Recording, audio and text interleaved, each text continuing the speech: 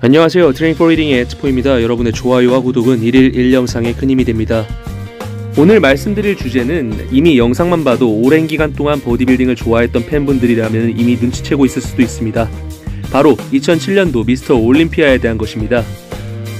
영상은 2007년도 미스터 올림피아에서 2위를 기록했던 빅터 마르티네즈란 선수입니다. 영상을 보자마자 우리의 눈길을 사로잡는 건 그의 아름다운 근육의 곡선과 정확하게 잘 갈라져 있는 근육의 분리도입니다.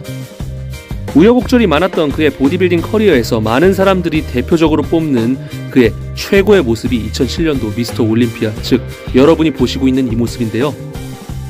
저 트포이가 보더라도 너무나 완벽한 그의 근육의 모양과 shape, 컨디셔닝 이 3박자에 눈길을 떼낼 수가 없습니다.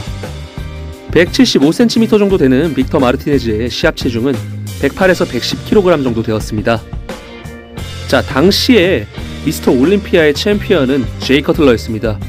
영상의 전편을 보신 분들은 알겠지만 2006년도에 제이 커틀러는 드디어 로니 콜먼을 상대로 우승을 기록하면서 첫 번째 미스터 올림피아 타이틀을 거머집니다.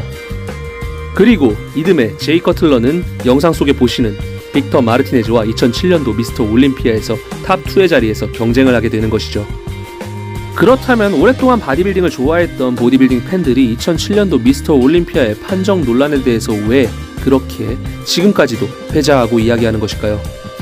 먼저 사건의 전말을 말씀드리자면 빅터 마르티네즈는 2005년도 때부터 차근차근히 바디빌딩계에서 자리를 입증해온 신이었습니다. 그만큼 무서운 속도로 자신의 실력을 증명하고 있는 추세였죠. 그리고 제이 커틀러는 오랜 기간 동안 로니 콜먼과의 경쟁으로 인해서 본인 의도와는 다르게 무지막지한 양의 근육의 사이즈를 붙여왔습니다.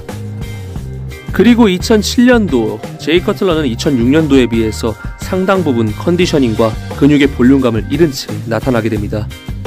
그리고 공교롭게도 하향세를 타고 있던 제이 커틀러는 본인 인생의 최전성기를 맞은 빅터 마르티네즈와 만나게 됩니다. 사진은 2007년도 미스터 올림피아의 탑4의 사진입니다.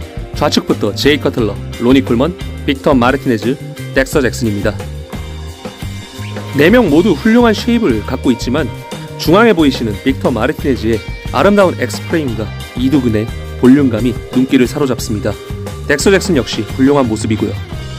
오히려 작년 top 2를 겨뤘던 제이 커틀러와 로니 콜먼의 코어 부분이 희미하게 근육의 선명도가 떨어져 보이는 게 확연히 눈에 띕니다. 다음 lat spread 포즈에서는 제이 커틀러의 좌우 불균형인 하체 사이즈를 확인할 수 있고 특히 제이 커틀러가 작년에 보여줬던 거대한 사이즈는 온데간데 없고 볼륨감이 많이 빠진 제이 커틀러의 모습입니다. 그의 강점인 하체 사이즈인데도 불구하고 오히려 top 4 중 가장 분리도와 사이즈가 작아 보이는 건 착시 현상일까요?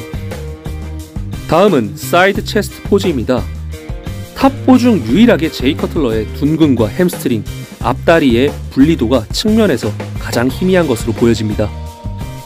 또한 상체의 볼륨감에서 빅터 마르티네즈나 덱스터 잭슨, 로니 콜먼보다도 조금은 떨어지고 있는 제이 커틀러의 모습이죠.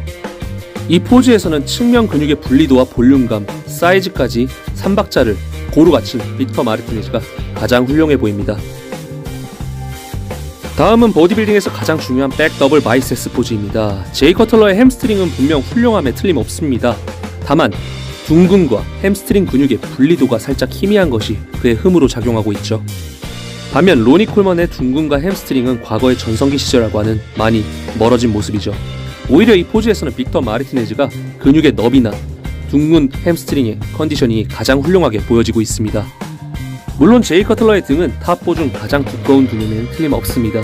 다만 하부 쪽에 있는 주름이 제이 커틀러가 conditioning에 실패했음을 대변하고 있습니다. side triceps 포즈에서는 로니 콜먼의 상태를 제대로 관측할 수는 없지만 영상에 보시다시피 제이 커틀러와 대비할 수 있는 사이즈를 갖춘 빅터 마르티네즈가 덱스터 잭슨보다 더 눈에 띄고 있습니다.